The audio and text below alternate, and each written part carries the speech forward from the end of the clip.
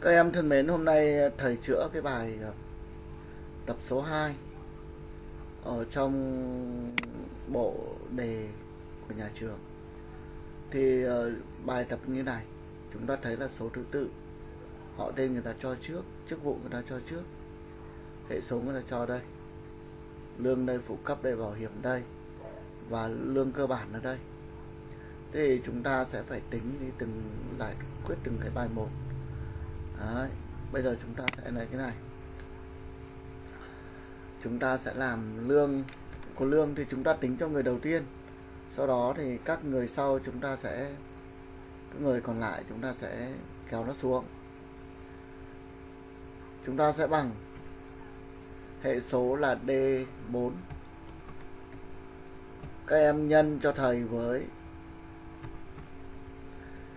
Cái à, H2 là chứa cái lương cơ bản nhưng mà cái ô này giá trị không bao giờ thay đổi khi mà chúng ta mà không uh, để giá trị uh, dưới dạng địa chỉ tuyệt đối thì nó sẽ bị trượt trượt cái um, ô này do vậy chúng ta phải ghi là đô la h đô la hai Đấy. thì chúng ta tính được lương Đấy. lương của chúng ta là đây cái dấu phẩy đây là phân cách hàng đơn vị thôi hàng trăm thôi còn dấu chấm này mới là phân phân cách cái hàm thập ở cái cái thập phân và sẽ được là 907 800 đồng. Và chúng ta kéo nó xuống. Đó. Chúng ta đây nhá chú ý là đây là hệ số ở à, đây là hai dấu phẩy sau sáu con số thôi. Đấy. Tức là số thập phân là dấu chấm còn đây là phân cách gọi là phân cách để viết cho nó đẹp thôi. Chúng ta được từng này. Rồi xong bài 1 xong câu 1 phụ cấp thì bằng 10% của lương. Thì phụ cấp thì chúng ta chỉ cần bằng OE mấy nhỉ? E4 à, E4 chúng ta nhân chúng ta nhân các bạn nhân bằng 0,1 cũng được hoặc các bạn nhân bằng 10 chia cho 100 à, thì bằng này phụ cấp bằng này. Kéo xuống. Nha các bạn nhớ như thế nhá. Bảo hiểm bằng 15% của lương. Thì ta có bảo hiểm bằng. Lương của chúng ta là F4 vậy chúng ta sẽ bằng chúng ta sẽ bằng là F4 các em nhân với cho thầy 15% là nhân với 0,15 ở đây chúng ta để viết rõ hơn thì chúng ta ghi là 15 chia cho 100 Đấy, các bạn nhân thế cũng được. Thì chúng ta sẽ được như này. Cắm này xuống. Hoặc các bạn nhân này là 0,15 cũng được. Đây, ta thay đổi công thức là bằng nhân với 0.15 thì nó cũng như vậy thôi. Đấy thực lĩnh bằng lương cộng phụ cấp trừ đi bảo hiểm. Lĩnh bằng lương cộng phụ cấp là bằng E mấy nha các em nhỉ? E4 bằng E4 cộng với phụ cấp là F4 trừ đi bảo hiểm. Bảo hiểm là để người ta đóng bảo hiểm đấy. Để khi về hưu người ta có lương. Để chúng ta trừ đi G4 Đấy, thì chúng ta được thực lĩnh như này. Đấy. Là chúng ta đã xong được chèn thêm một dòng cuối để tính tổng số tiền phải trả cho cán bộ nhân viên. Tổng thì các em bằng vào đây. Bằng xăm mở ngoặc ra. H mấy nhỉ? H 4 2 chấm cho đến ờ, của chúng ta là h 13 chúng ta thấy là tổng số tiền là từng này. Đếm xem có bao nhiêu có hệ số lương lớn hơn 3 câu này chúng ta phải dùng hàm điều kiện D cao, tức là đếm đếm là cao. Thì còn tổng thì D sum, trung bình D average, đúng không? Chúng ta sẽ sử dụng cái này, D max, D min, vân vân.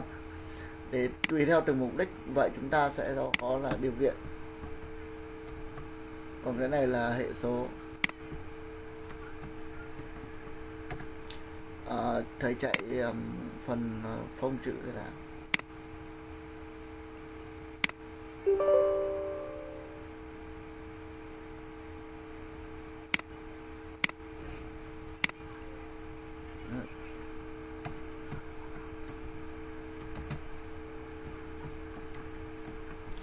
chúng ta để như vậy và chúng ta có điều kiện đây là hệ số lớn hơn 3.0 thì chúng ta điền cho thầy đếm xem thì chúng ta đến này, bằng lớn hơn hoặc bằng 3.0 ở đây là có rất nhiều cái 4.5 chấm cũng có, nhỏ hơn cũng có, thì chúng ta đếm Đấy. thì chúng ta ghi là, Đấy. chúng ta ghi đáp án vào đây số người lớn hơn, số người có hệ số lớn hơn. 3.0 là Đấy, các em nhớ chú ý là trộn cái ô này vào nhé. Trộn ô này vào để nó xem là nó sẽ ra là chỗ nào. Và bây giờ chúng ta mới sang ô đây thì nó mới rõ ràng. Hoặc là sang đây chúng ta điền bằng d cao.